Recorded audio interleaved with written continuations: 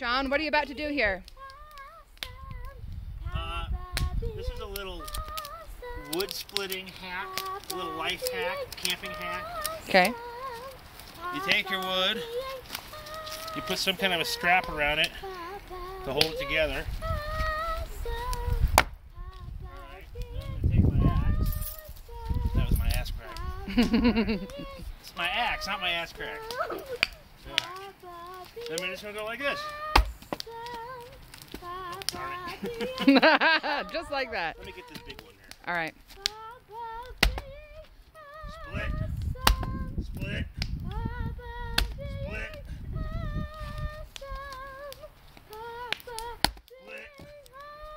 split,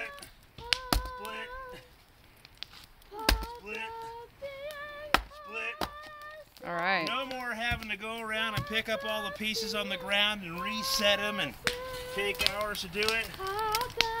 Take that bad boy, release it. Look at that. Ready to go. All right.